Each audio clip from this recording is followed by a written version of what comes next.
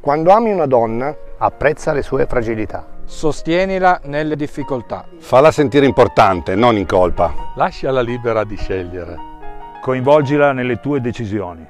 Sì, cavaliere, quanto serve fai un passo indietro. Parlale delle tue emozioni. Usa le mani per accarezzarla. Accetta quando ti dice basta.